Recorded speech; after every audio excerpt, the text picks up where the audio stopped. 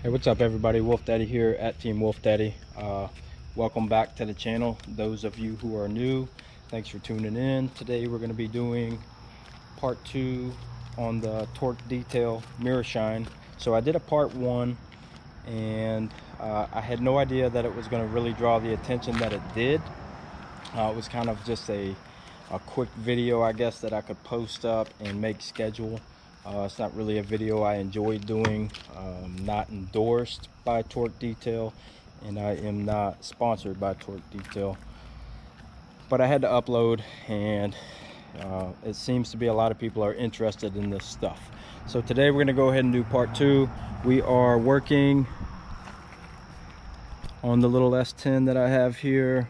So for the most part, the front's done. I'm going to go ahead and shoot the bed real quick. Uh, I know it probably looks clean, but it's got some dirt in it.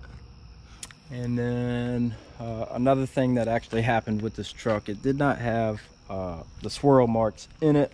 I really wanted to stay away from them, but it's kind of hard to avoid swirl marks when you wash a black vehicle. Uh, so this stuff is not magic by no means. Uh, not really like what you see when Torque Detail actually does like their promotional uh, advertisements and those types of things. This stuff is is not magic. It's just a quick detail. It is better than your $10 bottle of uh, Meguiar's or Mother's or whatever really you're into. But you can see I, I've done the front already.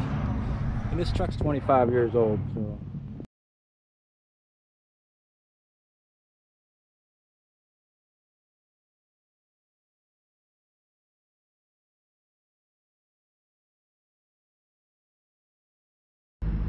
Stuff's pretty simple. It's just like any other detailer. Just give it a little shake.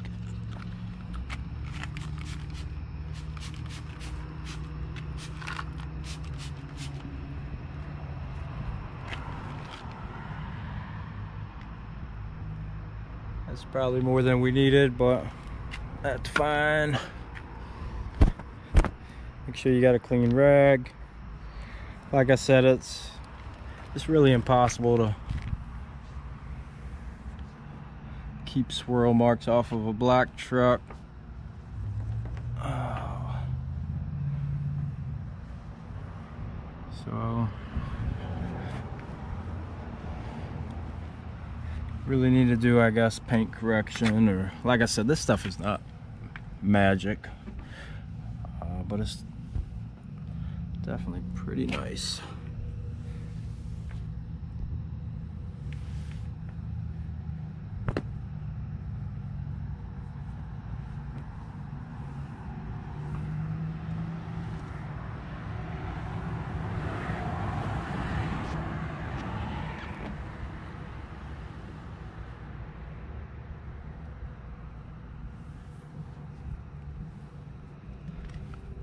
Well, there you have it.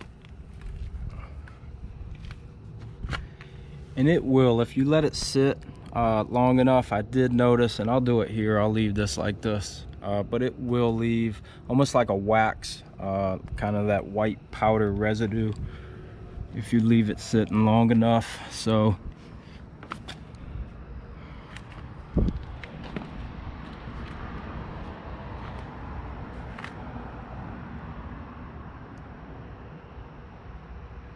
And I'm gonna just leave this sitting here so I can show you all that as well. So here we are. This is kind of the, I guess the powder that I was talking about. So yeah, if you sprayed it on a, like plastics and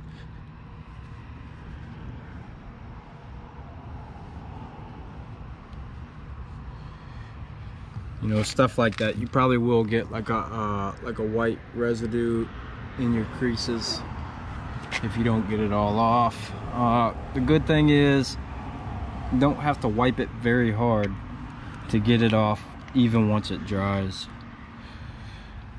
which is good in this case because I guess it will limit the swirl marks if you're OCD like me then you'll have to open the gas cap here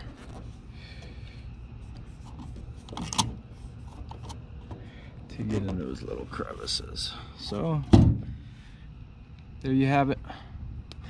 I will not make any more of these videos, but uh, definitely the the ones who who checked up on me and said, "Hey, where's part two? You, you said you were going to do a part two. Uh, I do appreciate it. Uh, it's good motivation, and it shows me that you guys are actually watching the channel.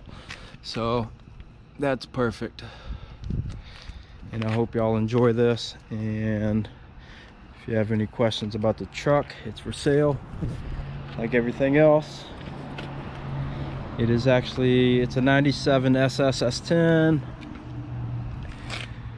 Has been taken pretty good care of. It's got 80,000 miles. And there's actually another video on the channel. So there you have it.